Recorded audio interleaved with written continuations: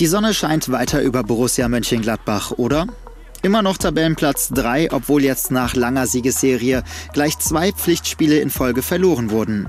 Bahnt sich da etwa eine negative Serie an? Wir haben äh, zwei Spiele bis jetzt äh, erst verloren, also wofür eine Krise? Also das ist lächerlich. Also können die anderen alle behaupten, ich sehe das anders. Also in drei Wettbewerben noch dabei, läuft alles bestens. Die Saison ist bis jetzt ziemlich gut verlaufen. Jetzt äh, zwei Niederlagen, da kann man überhaupt nichts gegen sagen. Die beiden Niederlagen werden uns nicht umhauen. Ich meine, man kann nicht immer gleich top sein und ähm, also ich denke mal schon, das sind jetzt vielleicht ein paar Spiele, aber das wird schon wieder. Ich denke, dass wir nicht so hohe Ansprüche haben sollten, äh, jedes Spiel zu gewinnen.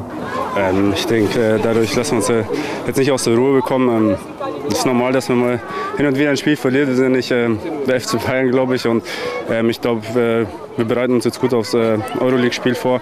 Und ähm, da wollen wir drei Punkte mitnehmen. Genau, wir gehen da auch von aus, dass es okay ist, auch mal zu verlieren.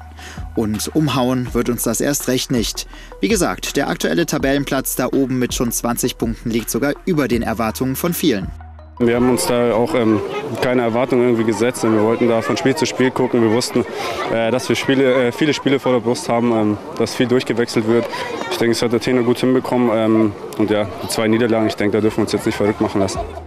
Das ist der kommende Gegner. Das Rückspiel in der Europa League beim FC Villarreal kommt am Donnerstag auf uns zu.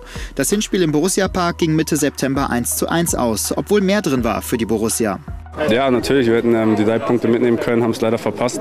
Ähm, ich denke, jetzt versuchen wir es am Donnerstag gut zu machen äh, und dass wir da gut in der Euroleague dastehen. Die Fans haben die Borussen auch beim heutigen Training wieder regelrecht belagert. Und Sorgen machen sich viele Fans, ob klein oder groß, auch nicht. Wenn man sich äh, nicht ganz so blöd anstellt, hat man ja im Hinspiel schon gesehen, dann äh, sollte das auch machbar sein. Wir werden jetzt gegen Villarreal, denke ich mal, einen Punkt holen. Wolfsburg auch einen Punkt holen und dann Kramer und Stranzel fit sind packen wir das wieder. Ich denke mal, da werden wir wieder zuschlagen. Bestimmt. Also das nächste ist Donnerstag. Ich denke, dass sie da mindestens drei Punkte holen und dann am Samstag oder am Sonntag gegen Wolfsburg es natürlich ein bisschen schwer mit Bestreiter, aber ich denke schon, dass da wenigstens ein Punkt drin ist. Martin Stranzl und Chris Kramer haben auf jeden Fall auch heute wieder individuell trainiert. Am Donnerstag will natürlich jeder wieder dabei sein. Auch Fabian Johnson war nach muskulären Problemen wieder voll im Training dabei.